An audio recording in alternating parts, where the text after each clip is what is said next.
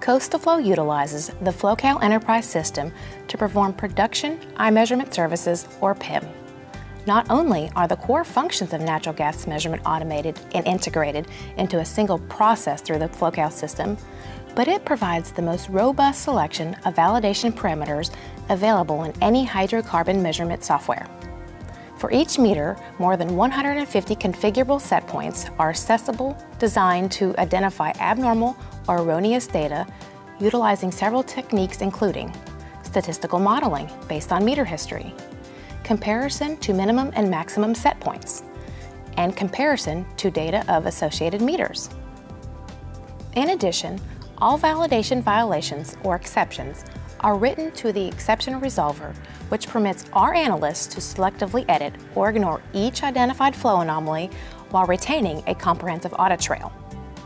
Some of the additional benefits associated with managing measurement data with FlowCal are automated report scheduling, advanced system balancing, and user security.